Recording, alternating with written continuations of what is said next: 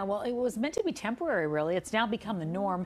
And in fact, a new report from the career website Ladder says one in four high paying jobs in America will be remote by the end of next year. But working from home, it can also lead to a whole lot of burnout. So joining us tonight is recruitment expert Jason Wachtel of the firm JW Michaels. Jason, thanks for being with us tonight.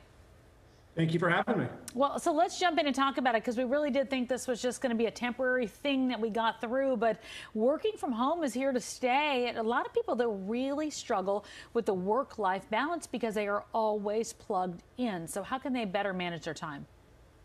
Well, you're right. I mean, when 2020 in March, when we all went remote, we thought this was the most exciting thing. No more commuting. Um, you could wear sweatpants all day, and just a great all around. But now that it's been two years, and most people in New York are still working remote or some hybrid schedule, um, wearing your sweatpants, not seeing other people, and eating the same lunch every day gets a little bit overwhelming. Not to mention, without commuting, you're now working much earlier and working later. So, yes, this is here to stay and also you, people have to adjust their daily habits. Otherwise, it, the burnout is real is real right now.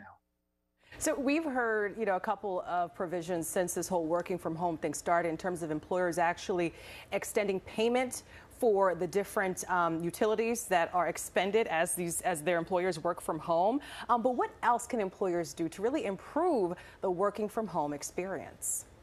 Well, the first thing is I think employers, bosses, managers have to realize that whether it's six o'clock on a Wednesday, fr- Friday night, Saturday, Sunday, or when people are on vacation, you have to cut off communication. You can't have people on call 24 7 because people, as you mentioned, are getting burnt out. So the first thing is when the day's over at six o'clock, unless it's absolutely pressing, you really need, can't be reaching out to that employee until the next day. Weekends, same thing. Let the people enjoy their weekends. And on vacation, absolutely do not reach out to your employees unless it is an absolute emergency.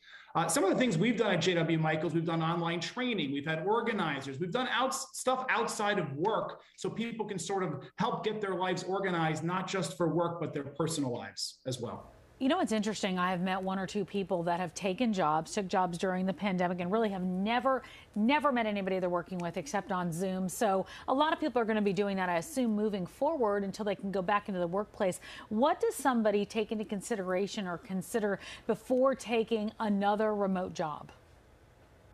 Well, what we've seen at JW Michaels, a lot of jobs are, are really more hybrid in the New York metropolitan area. Um, but it's really important if you're a new employee, a junior employee with not much experience, that fully hybrid, uh, excuse me, that fully remote model is a little challenging because how are you going to learn the business really great from the ground floor up working remotely? How are you going to build those relationships with your manager, with the bosses, if you're working remotely constantly? So it, it is a challenge, but I, I think what we're seeing most of our clients in the New York metropolitan area, they're incorporating some kind of hybrid schedule, which allows the junior people to get really get trained up and the senior folks, you know, they don't want to be commuting an hour and a half, two hours each way. It's sort of best of both worlds, this hybrid schedule. Remote is a little bit challenging when it's 24 7, uh, you know, five days a week really both parties just mm -hmm. need to mm-hmm. at this point get with the times uh, jason yes. wachtel from jw michaels recruiting firm thank you so much for your insights and being with us today uh, thank you for having me